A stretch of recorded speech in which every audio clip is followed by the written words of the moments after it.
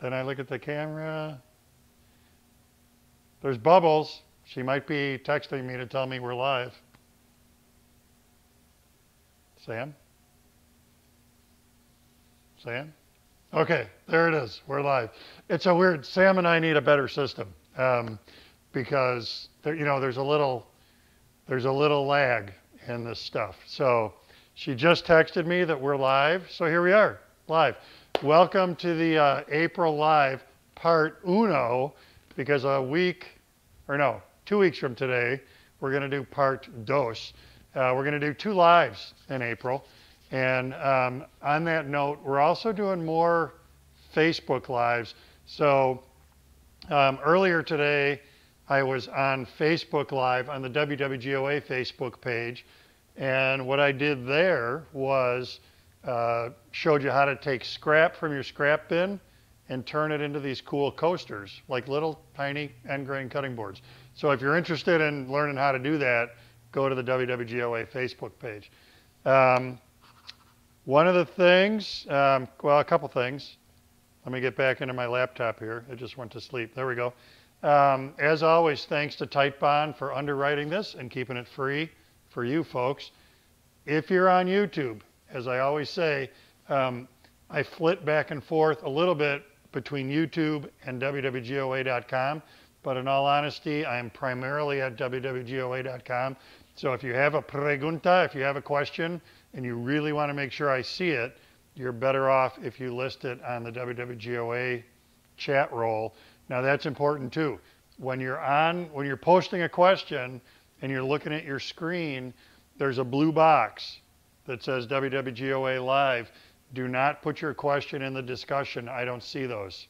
Put your question, it's called a chat roll. Put your question, not a fat roll, not one of these. It's a chat roll. put it in the chat roll. Um, the other general announcement is that let me look and see donde es. Um, right above the chat roll, it says free projects, sign up to receive, da da da da da da. So um, you've, you've probably already seen some of her videos. Jess Crow put together a package of resin, epoxy related projects. There are five of them free. And um, in order to receive those projects, you can click on that link to sign up. So right above the chat roll, click on that link. You can sign up to get involved in that. It only just started, so there's still plenty of time to get involved with that. Um, so get yourself involved with that. All right. So Titebond, YouTube, resin, go. Here we are. All right, folks, let's jump in. I feel like we had uh, we had more people watching at the last live than we have ever had. Um, so we'll see if that happens again tonight. It's very cool stuff. Uh, Michael asks, good evening, George. My question is about setting fence position on the router table for a joinery bit, like a lock miter. After the initial rough setup, when sneaking up the fence position, do both ends of the fence have to move parallel to each other, or can one side be moved to fine tune the setting? Also, does it matter which side is moved in relation to the bit in feed or out feed? Lastly, does direction toward or away from the bit affect which side is moved? So it's like a bunch of no, no, and no. So one of the things, unlike a table saw, which I'm pointing to that you can't see, unlike a table saw, when you put a fence on a router table, it can be skewed across the table. The qualifier to that is if you're not using the miter gauge slot, which for a lock miter you're typically not. So um, when you go to fine tune your settings, I find it way easier to leave one end of the router table fence locked and I'm moving the other end. And that couple degrees or just a degree of movement gives you a really small change, um, the relationship between the bit and the fence. And that's, especially on a lock miter, that's the kind of really finite change you need. So no, definitely um, lock down one end, pivot the other end. It doesn't matter which end. Whichever one you're just, I don't know, is easiest for you to reach is good. Um, Kevin says, I'm setting up my shop in my attached garage. I'm using casters to keep most major tools and main workbench mobile and storable. Should I be concerned about the garage floor's pitch slope to the outside, making my table saw and outfeed table not level when working on projects? Well, things don't need to be level necessarily, but they need to be aligned. So I definitely wouldn't want your outfeed table skewed relative to the table saw because that could be, you know, where if the table saw table is here and then the outfeed table is canted because of because um, the floor being having a slope to it, um, that would be bad. But um, you know, if, if I'm building on this table and the whole table is a little bit out of level, I can still build a square project on a non-level table because as a rule, we're not assembling cabinets or furniture using levels to check them. We're using squares to check them or measuring diagonals. So the, the surface I'm building on doesn't have to be dead level. Dave says, I've been trying to resaw a three quarter inch cherry with my bandsaw. I've watched your class, thank you, and I think I've done everything correct.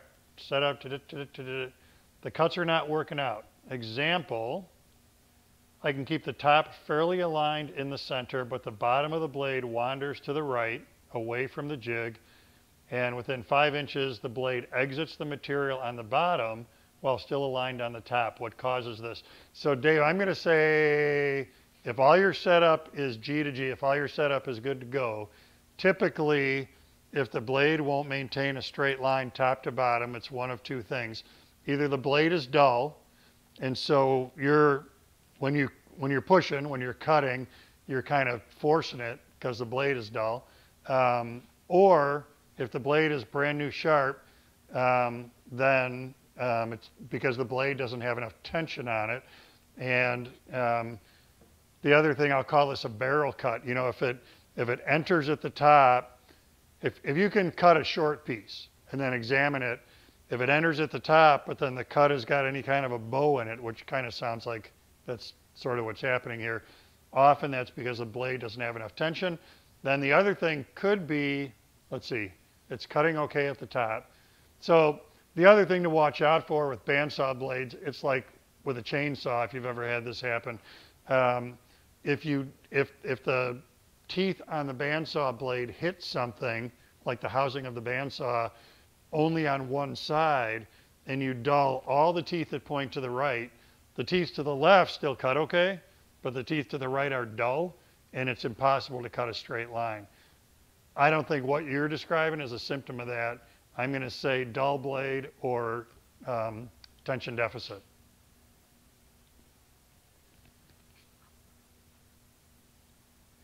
Charles asked if you had any experience with Western Australian hardwoods, such as mulga. No, but what a cool name for a wood. Um, I have used Jarrah, which I think was it was either Australian or New Zealand Indian. Um, I don't remember which, but other than that, well, and eucalyptus, um, and I think the the gumwood I used, the eucalyptus I used, I think came from Australia, but that's about it for me. I have a one and three quarter poplar board 11 inches wide. It's been air dried in a garage for two years. I bought it a month ago. I've let it stabilize since. One piece that I cut for part of the top has some small checking in it that appears to extend a 16th to an eighth inch deep. Seems to stop as it reaches the top of a growth band. Would it be safe to use this for a tabletop or should I use another piece? Well, if, it, if it's got checking in it, I guess I wouldn't use it. I mean, if it if it's already starting to check, so it's air dried for two years. So, you know, as a rule, air drying is a pretty safe bet. Like, it's mechanically so easy to do, but even air drying can happen too fast. Um, inch and three quarter, that's pretty thick. So, um, what can happen with any wood, even air dried wood, is it gets what's called case hardening, which is the outside of the wood dried at a different rate than the core. In the case of air drying, it could be um, it was in too warm a place, the sun shined on it, something got it to dry a little bit too fast. Um, it sounds a little iffy to me to use it for a tabletop if it's already starting to check on you. I'm just completing an extension of my garage shop. The new section will have a plywood floor. Brr. What do you recommend as the final floor to facilitate easy cleanup? So my old shop, if you look at old videos, I don't know if we ever showed the floor, um, but anything that we shot more than eight years ago was in my old shop. I built that building and it was a floor joist floor. This is a concrete floor. And I had three quarter inch plywood was my finished floor. Um, and it, it swept pretty easy. Um, I always, um, in, in, my, in my illusions for that shop, I always wanted to put in a hardwood floor. I thought it would be cool. Um, and, and I never finished the plywood. It was just raw plywood. Um, so I thought, well, it'd be neat. It would look neat to have a hardwood floor. It'd be cool to have a floor with a sealer on it so it would sweep a little bit easier.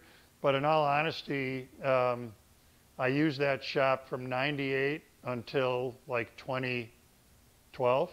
Um, and the floor swept up just fine. So um, plywood alone would be a good surface. You could paint the plywood. That would give it a little bit more um, ease of cleaning because it would be a smoother surface. Um, and then other than that, you know, like stuff you'd put in a, if you're moving tools around, most floor items, floor things that you put in a kitchen or a house probably aren't going to have the durability you want to be rolling casters under 400 pound saws over. So um, I like the idea of sticking with plywood or um, see if you can scrounge up a deal on, on hardwood flooring. That would be pretty cool. David is in Portland, Oregon. Cleston, a uh, longtime watcher, is in uh, Houston. And uh, AJ is watching from Boston.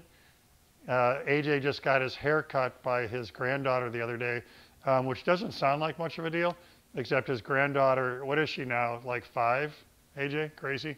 So um, it was a it was a very creative hairstyling that got done on AJ there. John says, I'm setting up my shop in my retirement. Good for you. I'm getting ready to build a vanity with flared curved legs. I have a stock 14 inch bandsaw with a riser block and stock guides. Should I invest in a set of Carter bearing guides now and start getting use of them, or do you think they're unnecessary if you set the saw up properly? Um, I had a Delta bandsaw, 14 inch, with a riser block on it forever. Um, bought it in 93. It came to this shop with me. Um, so that was in 2012. Um, and I always, I had cool blocks on it. I changed the steel blocks to cool blocks. Um, and I never went to bearings. And it worked just fine. Part of the reason for me was I, I did a fair bit of resawing on that saw, which is where bearings really help pay off.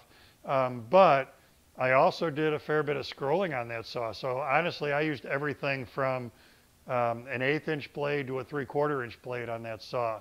And I found for the narrower blades, the phenolic blocks, cool blocks, were easier um, to set up and work just fine for those narrower blades. So um, if you're going to prevail toward doing lots and lots of resawing, I think going to the Carter bearings is a great way to go. If you're uh, more of a general purpose, a little bit of this, a little bit of that. I think sticking with cool blocks is fine.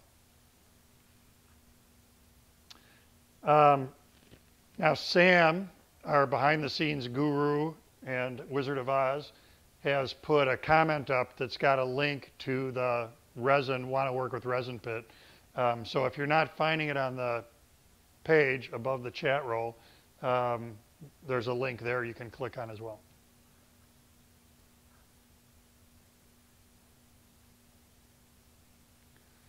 Um, Sean is asking about his first hand plane. I'm sorry, I'm not the guy for that. I know so little about hand tools.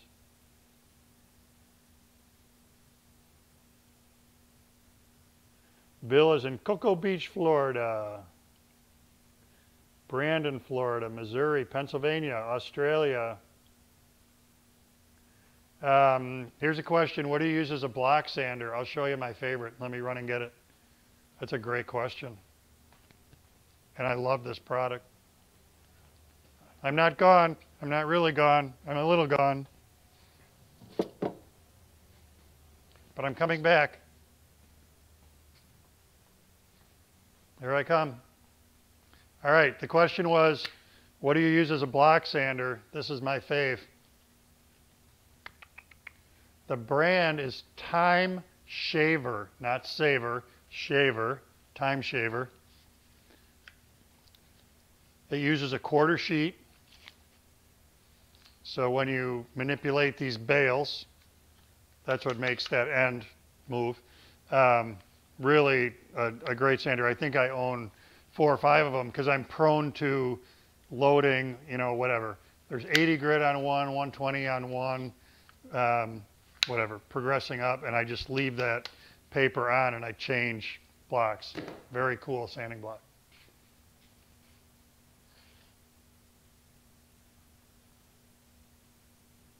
Yeah, the people are commenting about the rubber hand blocks shaped in an arc with the metal spikes. Boy, do I remember loading those babies with sandpaper in like junior high.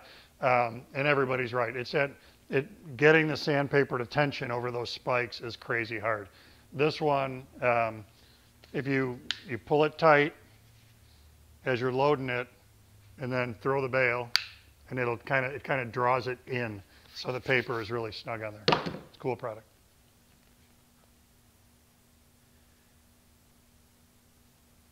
Uh, Clint says he's in Louisiana. Best way to remove pencil layout lines on bare wood. Have tried denatured alcohol with no luck. Well, there goes my answer. I was going to use, I was going to say um, denatured alcohol. In the absence of alcohol, I would sand them off. Um, it's a bad idea to erase them because sometimes the eraser leaves a residue on the surface. And if that, and then that's a spot that won't take finish. So yeah, if, if um, alcohol is not cleaning them off, then I would sand them. Richard asks, is teak okay for an end grain, edge grain, edge grain or end grain? Um, cutting board, I've read that it can be tough on a knife, but they also look fairly popular versus poplar. Are you making a play on words? Um, so the deal with teak is it's got silica in it, silica being an ingredient of sand and glass.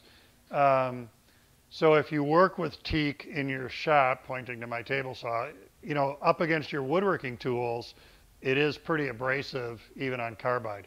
So theoretically then, apply that to a cutting board. Is it going to be harder than oak, maple, walnut, cherry on a cutting edge? Probably, but I feel too like if you're if if, if what you're talking about is an end grain cutting board, we are going to incorporate a bunch of different woods. I don't know. Even if the whole thing was teak, I feel like, you know, you slice through the tomato, and your contact with that wood is so incidental that I don't I don't think that's going to be a deal breaker for a cutting board. Larry asks, every time I use a round over bit, I get a ridge on the top of the cut. Why? Why, why, why? Well, Larry, it's most likely because, so I use roundovers bits, so I use roundover bits so much. One lives in this router, which isn't that a cool router? It's a Rockwell, 15 bucks at a thrift store. Runs like a champ. Um, so anyway, my roundover bit just lives in there. So when you set this up, I'm just going to walk in. That's easier than moving the camera. Router's unplugged, of course. So when you set this up, we need the square portion, that corner right there of the roundover, to be perfectly even with the base of the router.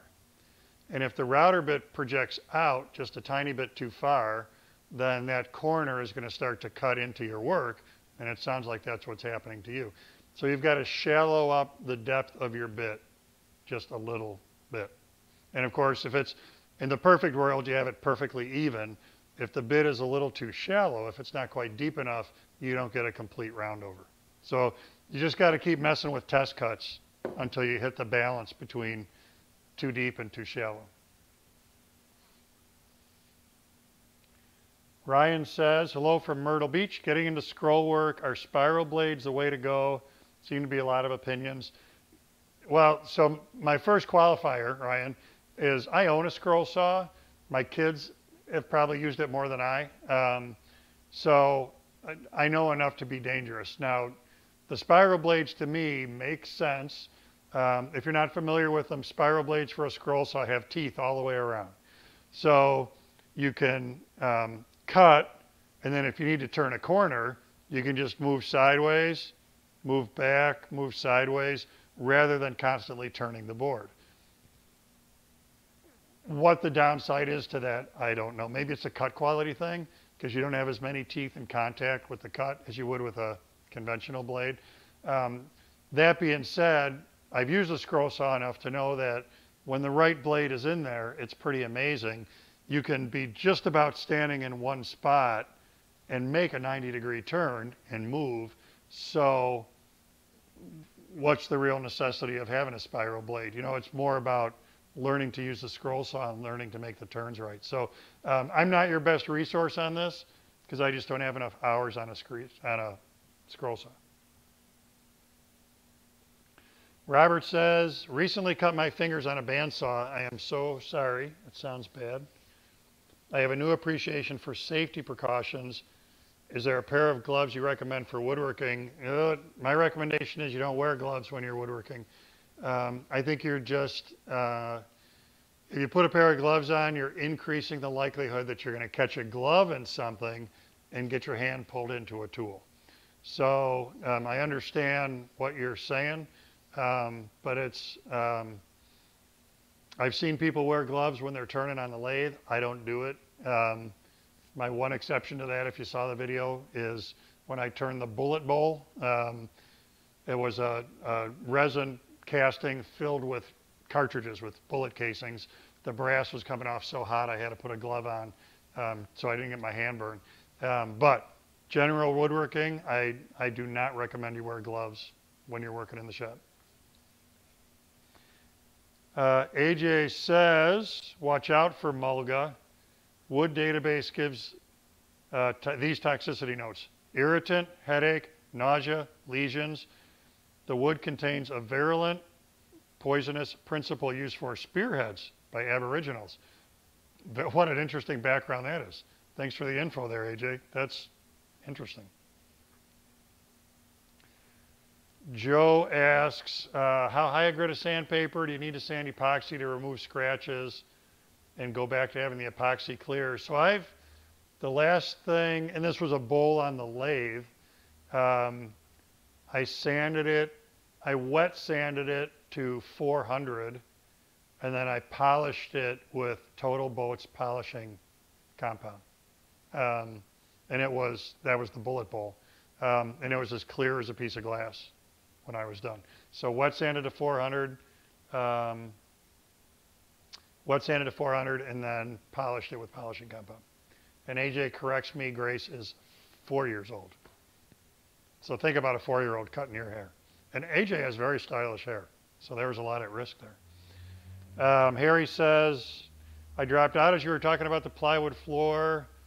What about your current concrete floor? Is it sealed to help with sweeping? So I'm, I'm very lucky. Well, you can kind of see it in the camera. I was going to point the camera down. Here's my floor. Um, this was a commercial building. Um, it started out as a post office, then it was a retail store. Then uh, a stained glass guy was in here for a while. But it's actually got asphalt tile, wall to wall, end to end. So it sweeps very easy. It's not sealed concrete. Um, I know when we did April shop, um, she's on a concrete slab there. Uh, she did not seal the concrete, and she's not, you know, she just sweeps. It's not difficult for her to keep that floor clean.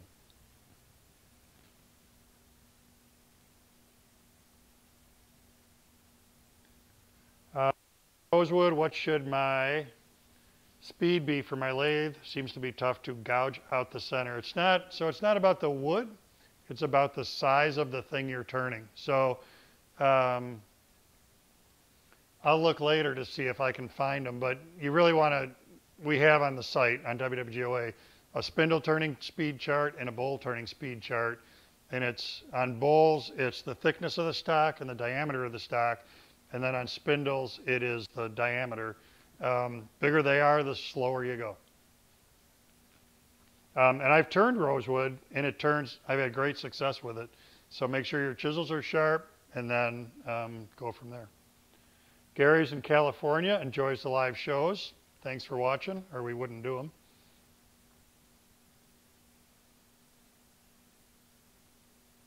So William asks about glue creep on cutting board glue ups.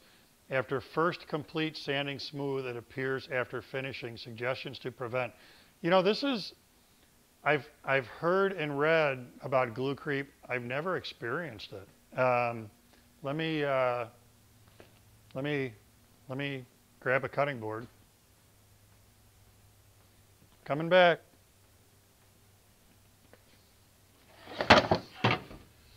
Coming back.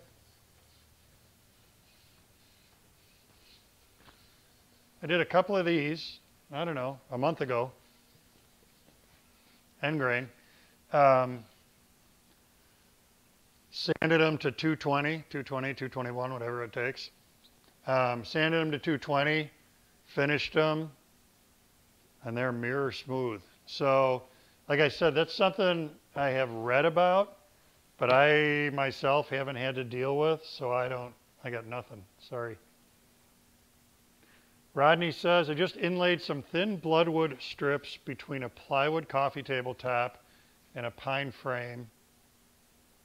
I'm a newbie. There are some tiny cracks and gaps between the bloodwood and the other surfaces. Should I fill that with something or just let the shellac fill them? Um, I don't, I mean, if it's a crack, shellac is going to go in there, but it's not going to fill it. I'll tell you what my favorite thing is for filling small voids. I'm looking for, I wish I had, um, I'm thinking a second. I wish I had something that had just a tiny little hairline crack in it um, so I could show you. Um, use yellow glue, standard yellow glue, and put a little bit of yellow glue into that void. And then with your finger or something, wipe the excess off the surface. And while the glue is still wet, hand sand. Take a sanding block, and it could be 180, 220 grit paper in there, and hand sand right over that wet glue. And what happens is that your, the sawdust you're making mixes with the wet glue and makes a nearly invisible putty in there. Now, this works when we're talking about hairline cracks, this works really, really, really well. If you're talking about big voids, you're never going to get enough, you know, you got to go to a wood dough for that. But if they're pretty small, um, try that trick of yellow glue, hand sanding, and it's, um, it has saved my bacon a bunch of times, made me look like a way better woodworker than I really am.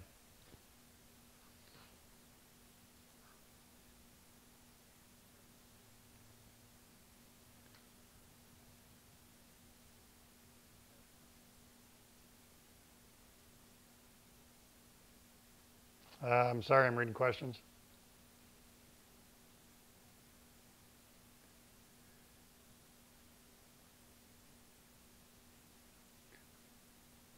What happened to your beard? well, let's see. I shaved it off like a decade ago, I think. I don't know. AJ probably, maybe AJ remembers better than I do. Um, my beard came off a long time ago. My mustache came off the summer I did the backpacking trip in New Mexico, which was 2017. So yeah, my my face has been completely naked for three years, and uh, the beard has been off for a really long time. Uh, Gary says, what can I use to restore my table on my table saw? It has rust and is very old, smooth but not great. So yeah, it's, it's pretty simple stuff um, elbow grease, um, spray it with WD-40. Well, and I'm going to talk about a product. Let me go get it. But I'll start with this. WD-40, Scotch-Brite pad or a sanding block that's got 220 grit wet dry sandpaper on it. And then just, you're basically going to wet sand the table saw until the rust is off. And then once the rust is done, you'll have to go back and clean it, use mineral spirits or something like that. But let me go and grab, I want to grab two things for show and tell. So this is the, the downside of not having a camera person is I'm have to leave the camera. Um, shoot. I'm still looking. Because I want to, I'm dying to try this stuff. So maybe this is, I just got it, and I'm going to really put it to a test. I'm going to try to clean these vice grips. See how rusty those are? So the product is Metal Rescue. So don't, I haven't tried it yet. Um, well, it's saying soak the item. I don't know. Look into it. Maybe this is a solution too for cast iron. Then, once it's clean, this is my fave, Bostik Glide Coat. So everything in this place, lathe beds, table saw table, router bases, dovetail template, jointer bed, bandsaw table, everything gets a shot of Bostik Glide Coat on it. Um, spray it on, let it dry, just read the directions, buff it out. That'll help prevent rust from reforming. It also makes their stuff slide way more better.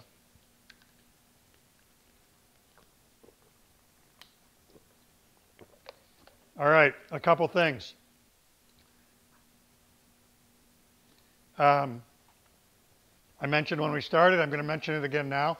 We are just starting uh, uh, introduction to working with resin thing, and it's Jess Crow that's doing it. If you've not seen her work, you're missing out. She does amazing, really artistic stuff with resin, way more than uh, you know just pouring resin into a mold of some kind and being done.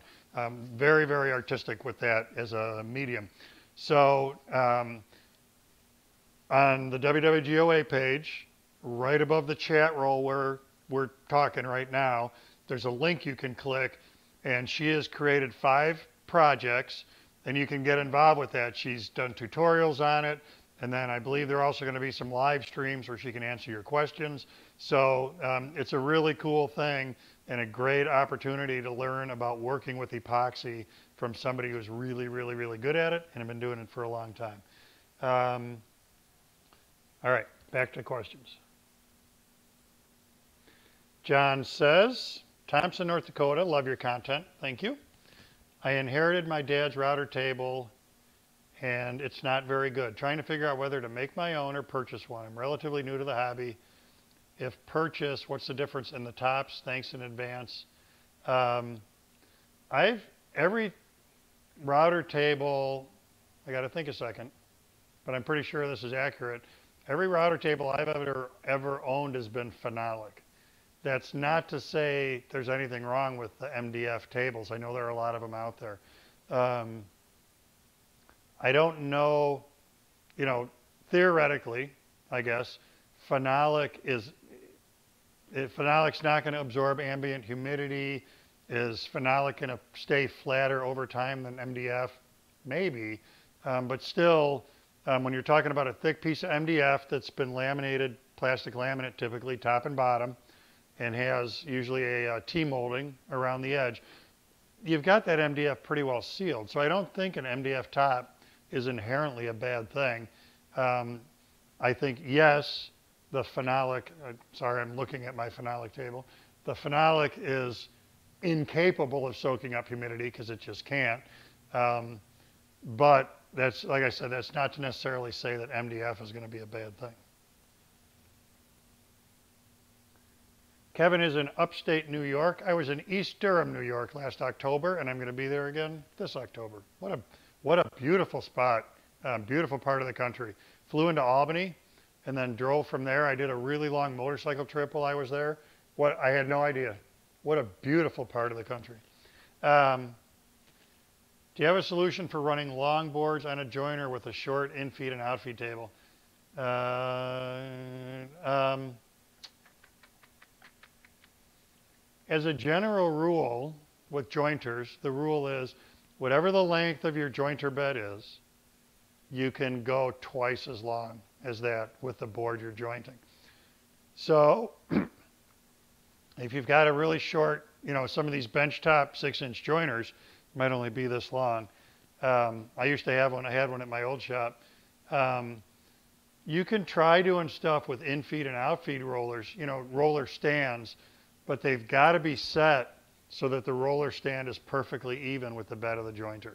So that means you're going to set the height of the infeed table, the, how much cut you're taking, and then set that roller to that height. And then the other roller is going to be different, set to the outfeed table, and they have to be dead on because if you start to sag off as you go through, then you're not going to get the benefit of the jointer. So um, at the end of the day, um, maybe other people have other workarounds, but as far as I know, um, it's just a limitation of a short jointer is they're good for short boards.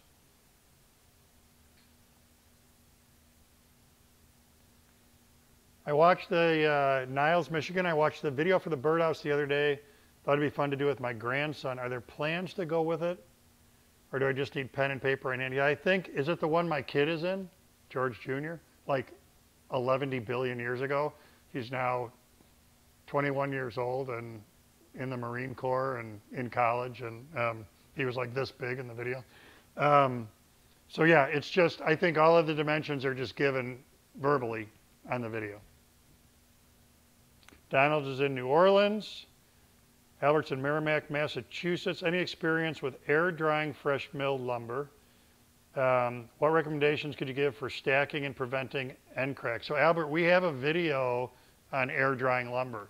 And I brought a guy in it, Greg. I brought a guy in for it, Greg.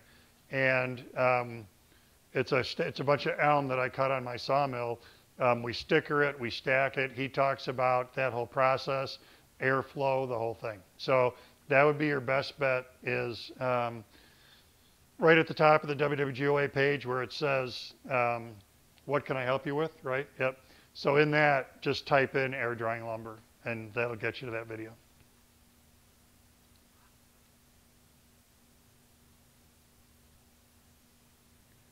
All right. So Bill in Duluth says, when running with my planer, I get a gouge or scoop about four inches at both ends. Any suggestions? Yeah, so that's called snipe. Um, and what happens, especially if it's a benchtop planer, the planer head rocks just a little bit. When you get under the infeed roller, it rocks down a little bit, and then you overcut. And as soon as it gets to the outfeed roller, the planer head levels out and then as it comes through and it fall and it's out from under the infeed roller, the planer head cocks down again and you get an overcut at the end. So um, on large stationary planers, you can overcome snipe typically by adjusting the tension on the infeed and outfeed rollers. On benchtop planers, that's why most benchtop planers have planer head locks on them or newer benchtop planers um, because then what you're, you're literally locking the cutter head in place so it can't do that dance as your board is going through.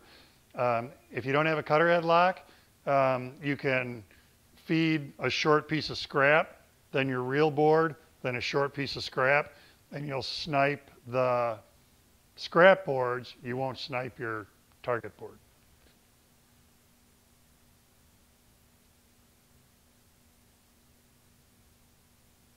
Um, what kind of motorcycle do I ride? I currently have a Yamaha Royal Star Venture. I'm going to sell it this spring, like as soon as the whole, um, I, would have a for sale sign on it now, except everything is so kerflooey.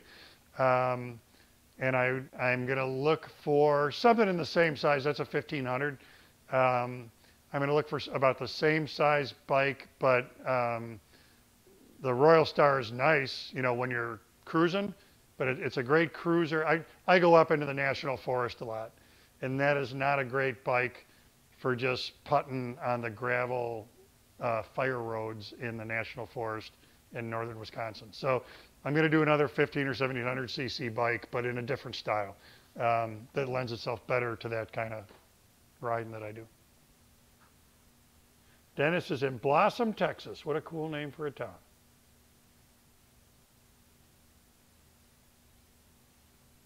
Republic, Michigan. Um, I can use a jig, but having a very difficult time cutting dovetails by hand. Any advice? Uh, you know, standing on the corner in New York, how do I get to, oh shoot, I'm, I'm going to screw up the joke because I can't remember the name of the auditorium. Is it Carnegie Hall? How do, how do I get to Carnegie Hall? And the answer is practice, practice, practice. You know, um, hand cut dovetails, I did them when I was teaching with the Peace Corps in Africa, and holy buckets did I spend time practicing in the shop with a kerosene light. We didn't have electricity night after night after night. There's just, there's a lot of mechanics to it, a lot of um, mechanical repeatability you got to teach your body to do. And I would just, you know, um, Annie Briggs, Ann of all trades, um, she's really good with hand tools. Look up her stuff. Um, watch tutorials that are showing you those body mechanics and really pay attention to that because that's a really big part of being able to cut accurately. Gordon asked, setting up my workshop, what should I look for in a table saw? A break. I, when people ask me on table saw advice, I always say, save your pennies, buy a SawStop. Um, I know they're, um, they're more expensive than other saws, but they have a break, which could save your finger or your hand or somebody else's finger or somebody else's hand.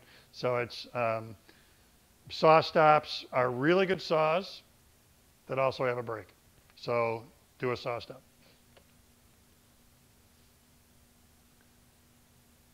Can I mix end grain with non for cutting boards? Oh, that's interesting. So like in a board, so this is end, this is all end grain. So could you could this be like long grain then an end grain?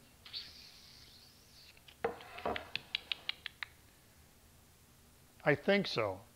Because what I'm thinking through here is seasonal movement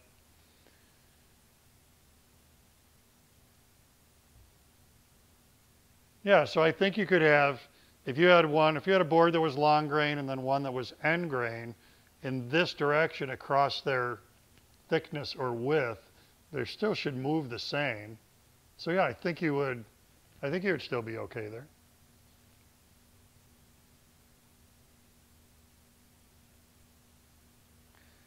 Ken says, I just finished two bowls and used friction polish. After polishing, there are tiny scratch marks on them Running my fingernail across the scratches, I cannot detect a scratch. One of the bowls has five coats, but the scratches remain. Did I not sand enough? Wood is hard maple. Yeah, it kind of sounds to me like maybe it's in, you're seeing something in the wood. So, um, yeah, it sounds, especially in hard maple, um, a scratch in, in that can really show up and be hard to get out. Um, so you just make sure as you're progressing through your grits you spend enough time at each level. Um, 120 grit gets out the chisel marks, 150 grit gets out the 120 marks, all the way up until all the sanding marks are out. Joe asks, do you have a go-to finish for small turning projects? I do. I have two. Um, one I think I'm out of, but the other one I'll show you.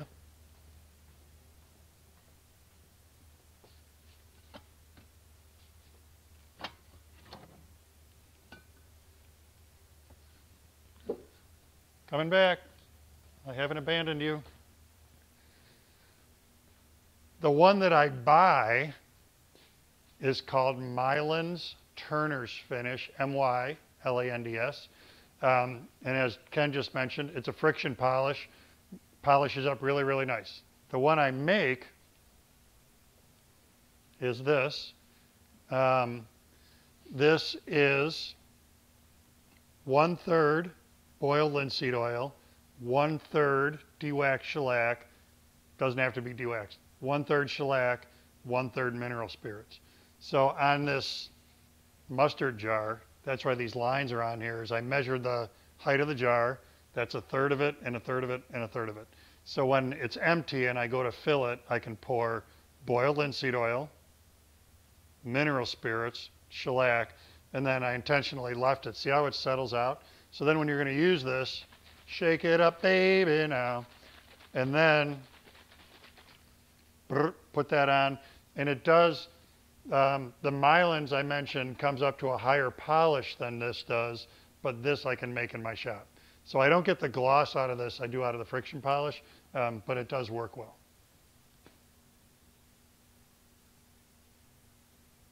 Kevin says he used Metal Rescue on hand plane bodies and it worked well. So that's cool. David asked if he had good results spraying polyurethane. Yeah, pretty good results. So I did, um, I did a bunch of cedar signs for a bed and breakfast. They had walking trails. So I CNC cut a bunch of cedar signs um, that identified the trails, and then I sprayed everything with polyurethane. I thinned it about 10%. I have a turbine-based HVLP.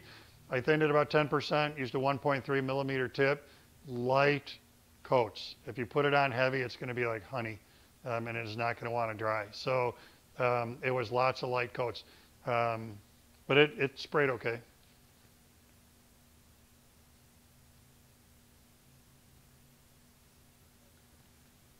Frank says, can I use the same compressor I use for pneumatic tools with the pressure pot for resin casting? Are there other requirements? Um, we must keep missing you, Frank, because I've seen this question, I think, about three or four times, and we keep answering it. Um, so the answer is yes, same compressor. The pressure pot I use only calls for 45 pounds of pressure, so it doesn't take much to fill it up. So as long as you can get 45 pounds of pressure out of whatever you got, um, you should be able to top off a pressure pot.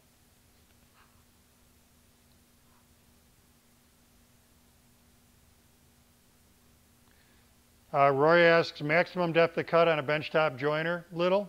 I mean, I, I rarely take more than a 16th off, even on my big Laguna 8-inch jointer, and it's typically set at a 32nd. So um, I always do light swipes, no matter what.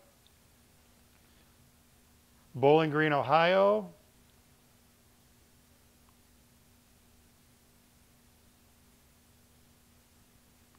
Uh, somebody asked, is there snow? So it's not snowing now.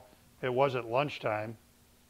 It's, uh, if you watch my Instagram stuff, I was whining about snow. Want to sell that recurve bow? Are you crazy? You can never have too many bows. It's like guitars, man. It's, uh, you can never have too many bows, guitars, or, I don't know, a few other things.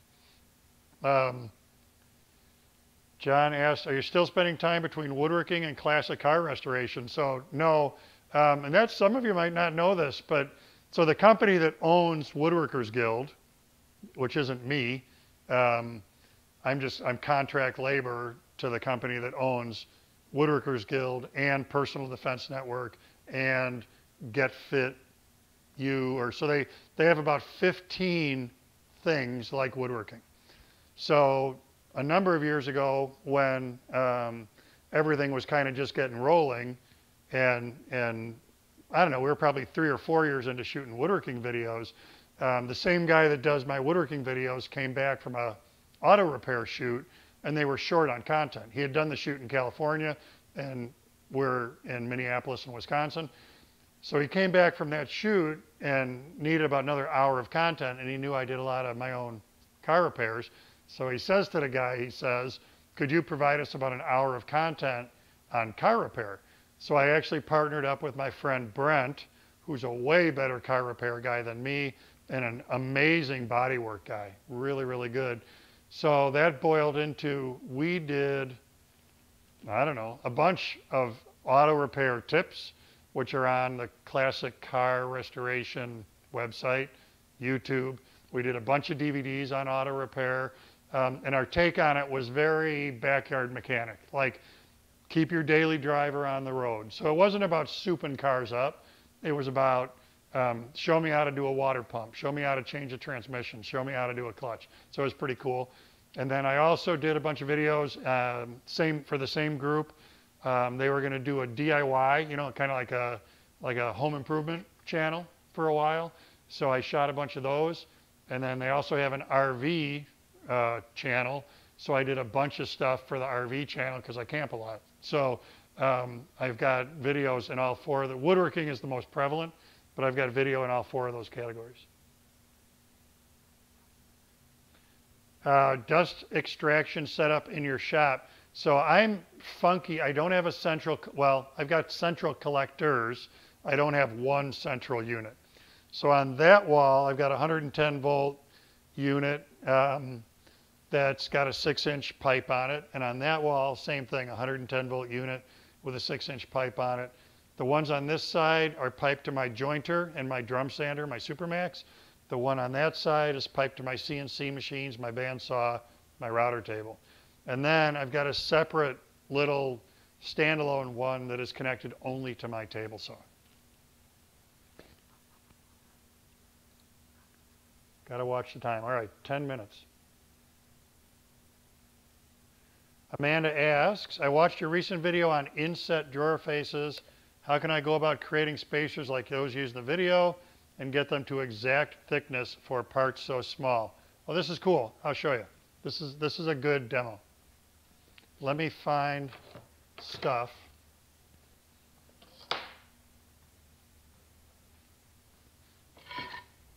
This, this will be a jig you must build. All right, I want to get you to the table saw. I'll show you the jig.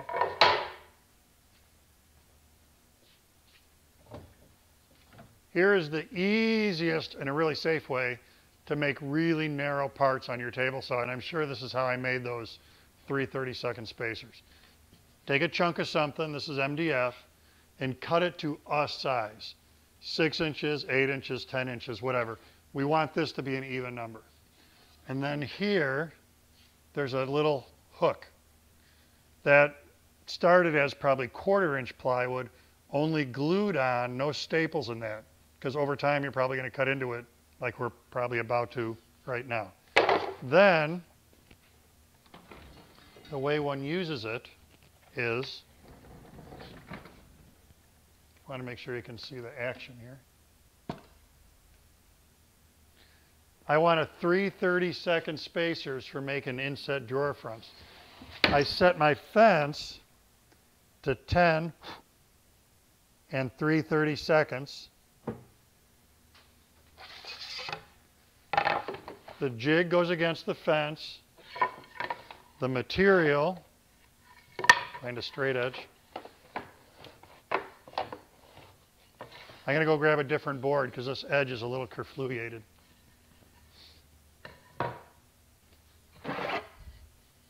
This one's Mobetta.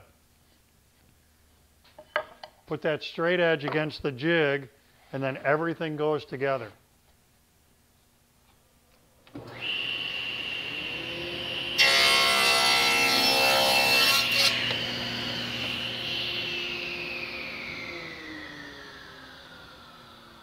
All right, and then you can check that. You can move the fence a little if you need to, you know, if it's not quite the right size. But this is, for me, that's how I cut thin parts like this. That's how I make splines. So I just spline that to you.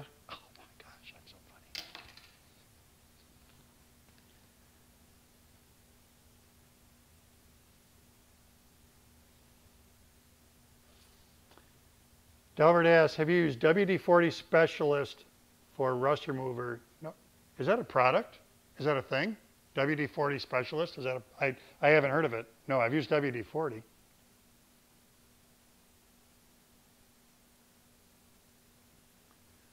Um, recently used Waterlox on a solid cherry desktop. After curing, there are weird indentations. I've never used Waterlox, so I don't know where that could have come from. How long should you let wood dry before turning a bowl and which way to cut into the grain? Well, I, I never let it dry. I turn pretty much everything I do green. And you want the grain, for the most part, I hate to say never, but rarely do people turn into end grain on a bowl. You would have the grain going this way and you're hollowing it in this direction. Um, So I turn my stuff green start to finish. My friend Paul um, turns it green, and the percentage he uses is the wall thickness is 20% of the diameter. He leaves that heavy wall on it. Then he lets that dry in a paper bag. And then after it's dry, goes back and does the final turning.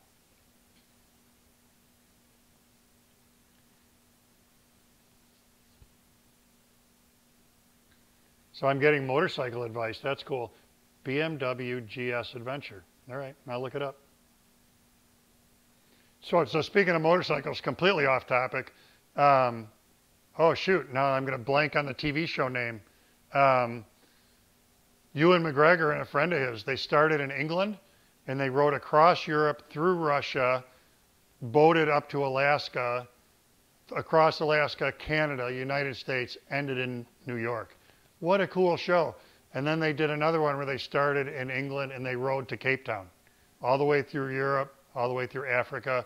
If you're a motorcycle person, um, shoot, somebody will think, somebody will know what the show is. It's, it was so, it was very fun to watch, very riveting. Jerome is in Thailand. Advantage of an end grain cutting board. Um, end grain's harder than long grain. So it'll take wear, it'll take those knife slices better.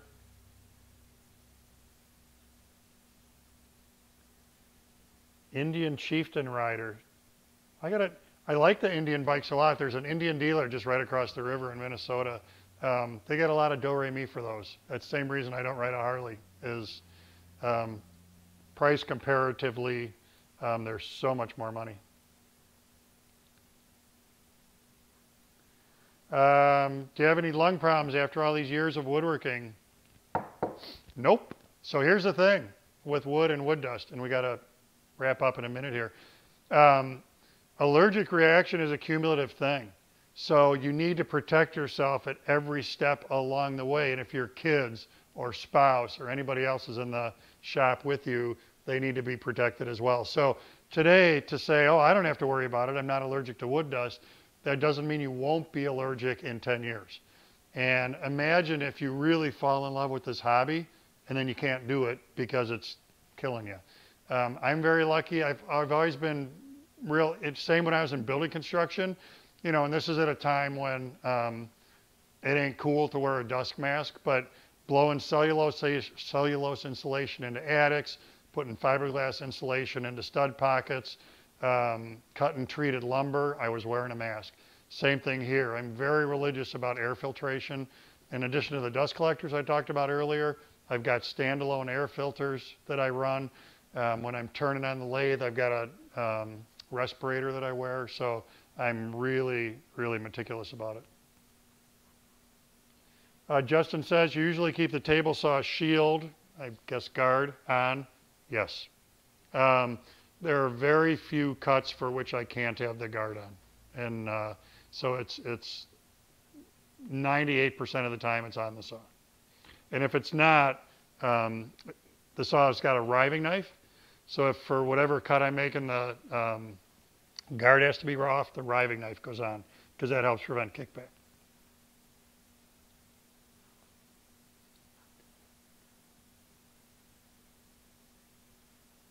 Is that a guitar I see inside the doorway behind you? If so, did you make it? Do you play? So I got to see which guitar. I'm looking to see which one you can see. Yeah, so that one I actually did make. Uh, I made it from a kit. It's a funky body style. It's called a Renaissance guitar. I have built um, probably a dozen guitars from kits. Never built, built one from scratch. Um, U.S. Guitar Kit has great kits. Um, the one that's hanging in here is a company called Music Makers. Um, so yeah, I do play. I started in uh, when I built my first guitar in 2016 or so. No, earlier than that. I don't know, a while ago, 2007, I think. Um, I, that's when I learned to play. Is when I built my first guitar, and yeah, I love it. Um, spent a lot of time two nights ago playing John Prine songs, and some of you probably know why. Um, yeah, I play whenever I can.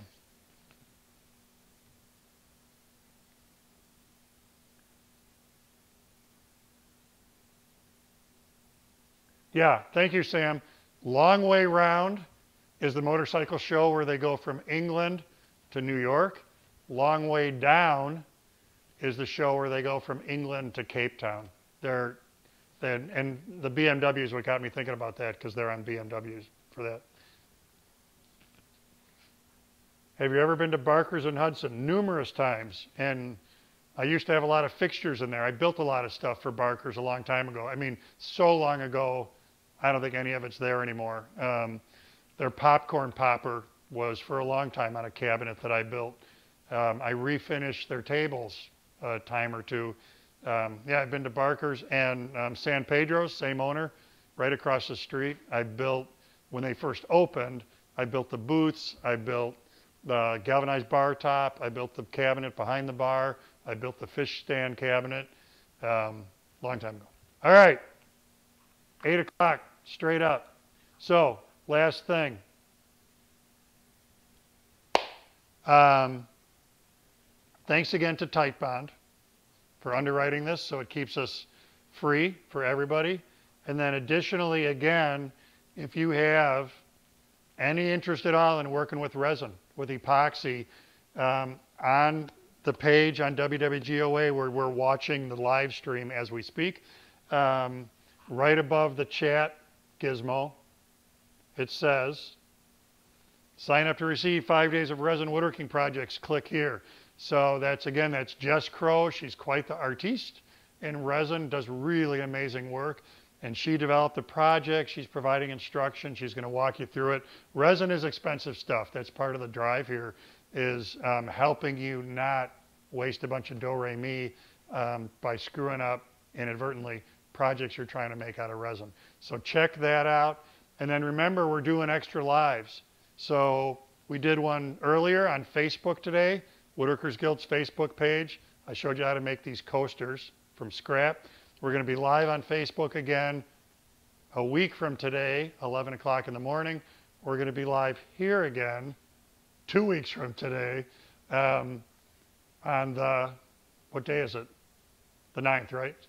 The 20, I don't know, Sam will correct me. In a couple of weeks, we're going to be, it's either the Wednesday or the Thursday of that week, we're going to be live again. So, all right, I'm going to be done. I will uh, see you when I look at you. Thanks, as always, to Sam for doing such a great job. Hasta la pasta.